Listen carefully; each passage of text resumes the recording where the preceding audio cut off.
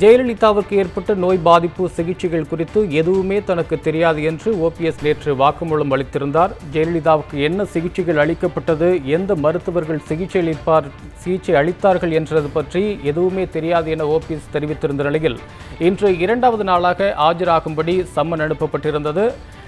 அதன் அடிப்படையில் இன்று இரண்டாவது நாளாக ஓ பன்னீர்செல்வம் இன்று ஆஜரானார்.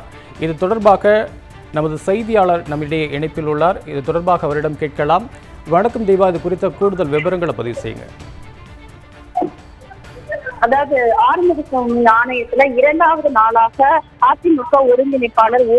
பன்னீர்செல்வம் விசாரணைக்கு ஆஜராகி இருக்கிறார்கள் ஜெயலலிதா மரணம் தொடர்பாக தொடர்ந்து ஆறுமுக ஆணையம் தரப்புல வந்து கமிஷன் தரப்புல விசாரணை மேற்கொண்டுபட்ட வரும் நிலையில முதன்முறையாக நேற்று வந்து அவர் மற்றும் சசிகலாவின் உறவினரான இளவரசி ஆகிய இருவருமே விசாரணைக்காக அழைத்திருந்தனர். இதன்படி நேற்று ஓ. பன்னீர்செல்வம் மற்றும் இளவரசி ஆகிய இருவரும் வந்து விசாரணைக்காக விசாரணை கமிஷன்ல ஆஜராகியிருந்தாங்க கிட்டத்தட்ட மூன்று மணி நேரத்திற்கும் மேலாக ஓ. பன்னீர்செல்வத்திடம் வந்து விசாரணை மேற்கொள்ளப்பட்டது. கிட்டத்தட்ட இந்த மூன்று மணி நேரத்துல வந்து பாத்தீங்கன்னா காலையில இரண்டு மணி நேரம் மற்றும் மத்தியானம் ஒரு மணி நேரம் என இந்த விசாரணை நடைபெற்றது.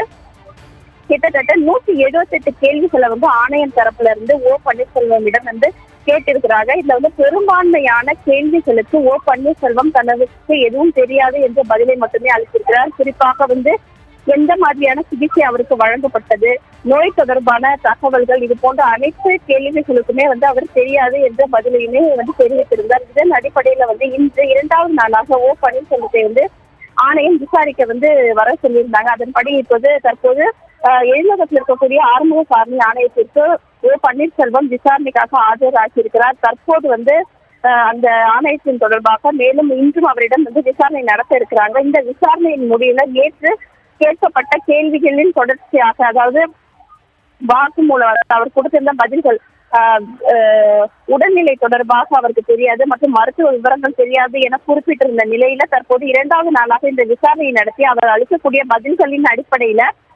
சசிகலா தரப்பு வழக்கறிஞர்களும் அப்பலோ தரப்பு வழக்கறிஞர்களும் வந்து அவரை குறித்து விசாரணை செய்ய இருப்பதாக தகவல் வந்திருக்கிறது.